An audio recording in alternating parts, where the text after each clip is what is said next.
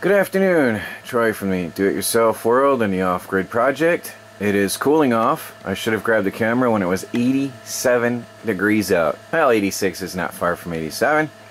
I am very thankful that I have a ceiling fan. Um, without that, I think I would be dead right now because it gives me a bit of a breeze in the tiny house on wheels. Because there is no breeze outside for once. Isn't that funny? Now that it's uh, smoking hot, there's no breeze out there. Um, oh, I gotta go feed the birds. The babies are all wild and begging they saw me move. Look at all that life in there. Look at all them. All kinds of silkies. Got them all on sale. Well, anyway, I wanted to show you what I'm up to today. Won't be much video, I don't think. Of course, every time I say there's not going to be much video, there usually is. Let's go check the solar power and then I'll show you what I'm up to. I currently have, of course it dropped, it was over 300 watts right here. I had well over 300 watts a minute ago, and then a cloud passed through. Um, that's the live view. Let's see what we've had coming in today. With the new solar panels, power is cranking. Oh yeah, look at that. Okay. Now today must be a little bit better than yesterday, although it was partly cloudy. I had 2800 watts, almost 3000 watts yesterday, and today I've got 2400 already at 3.30 in the afternoon. So I'm hoping I'll pump in some more power today than I did yesterday. Well, if we get 30... Uh, let me see, what was that again? Data, live view. Let me go back to live view here. How many amps are we pulling in right now? Um, pulling in 20 amps. So, if we pull in another two hours of power, they're just pumped up to 308 as we watch. Uh, might be able to beat yesterday's record. I just need uh, 400 more watts total to beat that. And considering I'm getting power now until 6.30, 7.30 in the evening, I might be able to beat yesterday's record. So I'm pulling in more power than I ever had before. Again, my situation is not what your situation will be. You will be pulling in way, way, way more solar power than I do because I'm in the forest. But I'm excited and happy to see 3,000 watts in a day. Now, let me zoom out a little bit. I'm just going to give you an overview. Look at all those tabs open on my uh, up up top of my um, my computer screen here. All those tabs. I am doing server maintenance today, and I have all kinds of tabs open because I'm working on all of my websites and databases and everything trying to finalize the server move over. So I've got multiple windows open for multiple things. It's just madness migrating a server. It's pretty crazy. So that's all I'm doing today which is fine because it's 80 it was 87 inside and uh, or outside so it's a couple degrees cooler inside and I've got plenty of work to do in here finishing this server migration. I am uh, working on the do-it-yourself world and if you look here the forum is now open for business. The forum is fully open for business and it points to the new domain. See what I'm doing here is as I finish something now see it goes and you look here the domain is the DIYworld.com is where we are right now. And when I click on forum, it's going to transfer to the forum at the doityourselfworld.com. So there is the new, uh, look at that. You can see outdoors behind me. This is what I was talking about, about a glossy computer screen. Look at the beautiful trees behind me and my laptop screen. So let me see if I can try. See, I'm indoors trying to work and I've got that issue with the laptop screen. Well, anyway, trust me, I'm at thedoityourselfworld.com instead of, see if I move, you're looking at the window behind me, where uh, it transfers it over, moves to the do-it-yourself world, spelled out, the do-it-yourself world, the new domain. Uh, the forum is up and live, fully.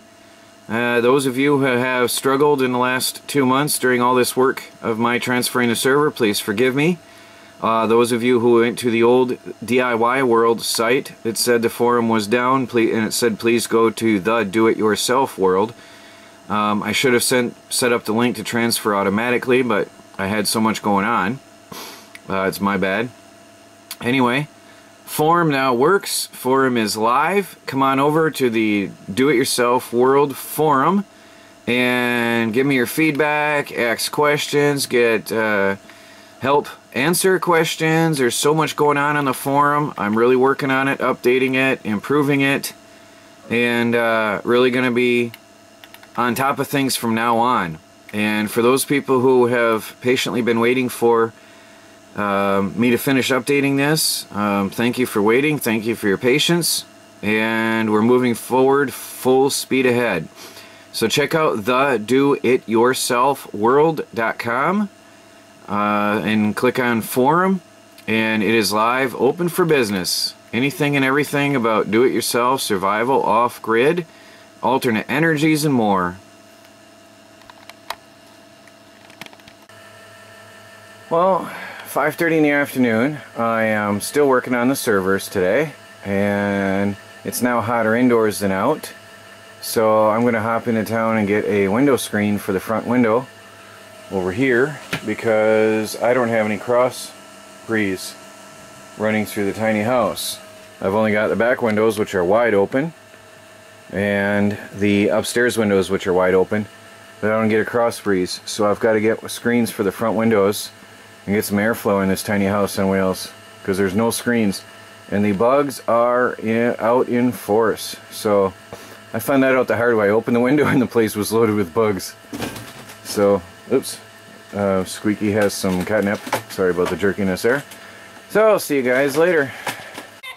Morning. Troy from the Do-It-Yourself World and the Off-Grid Project. Well, something was here last night. Something big. First thing I noticed was out of place was the trap that I had buried under all these logs is gone. all of this heavy duty stuff, you can see where the trap was laying and it's now missing. This trap was sitting next to that trap. The big trap is gone. Look, it's just not there. It's it's not there. Um, um, what would come and take away a trap? That's that's odd. And then I've noticed, see I've got hungry little birds here and hungry big birds here. I uh, have a bit of a problem. My chicken food is gone. It's gone. Oh, I got some left. Okay, good. Well, whatever it was, didn't take it all. But it's been rained on, which is annoying. Okay, good. So, Something knocked over the can, which is heavy, by the way. And it's never happened before. And then I found my trap, and there's a lot of other things disturbed. Something was ripping the place up. I think Mr. Bear was here and was hungry. I found my trap over here in the woods way out behind the tiny house in the forest. I, uh, I can only think bear, but the trap is not damaged. No, no way a raccoon carried the trap off into the woods. That's odd. That's very odd. So, um, a lot of things are knocked over and ripped up. I did have my game cameras on last night, so I can't wait to see what I'll find. Um, I think all my chickens are alive. Everybody's here. This other trap, which I had hidden down here, is untouched. So,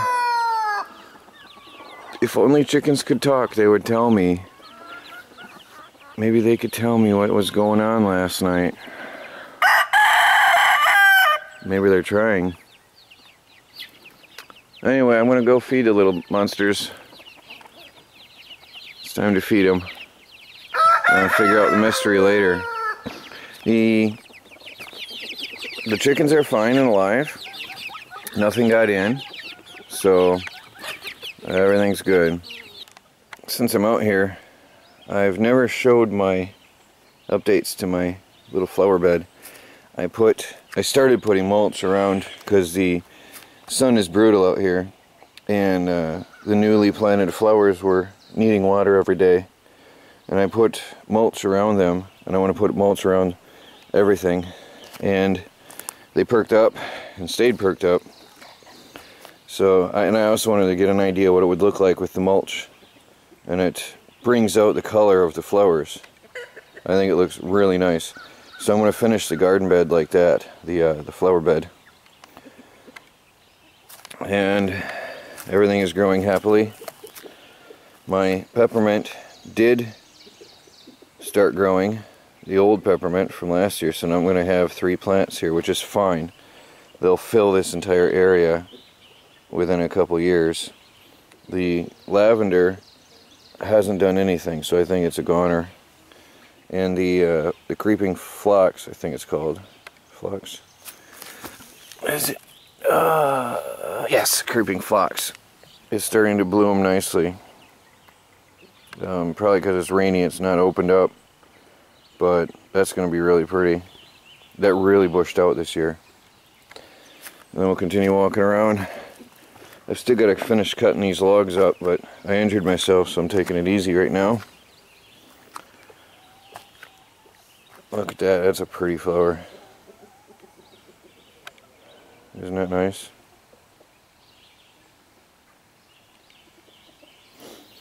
and then uh, the others. So, looking good. Yeah, I'm going to fill the rest of this in between all the plants. And I think it'll really look nice out here. It brings out the color.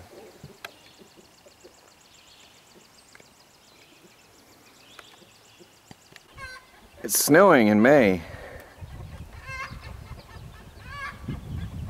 It's weird looking. Hope that shows up.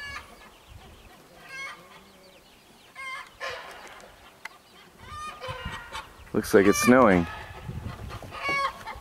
And just like a snowstorm, it comes and then it stops. It was really thick when I went to grab my camera and now it's gone. But everything's turning green. We had a rainstorm. Look at all the green. Wow, that makes a difference. I've got to mow the grass now.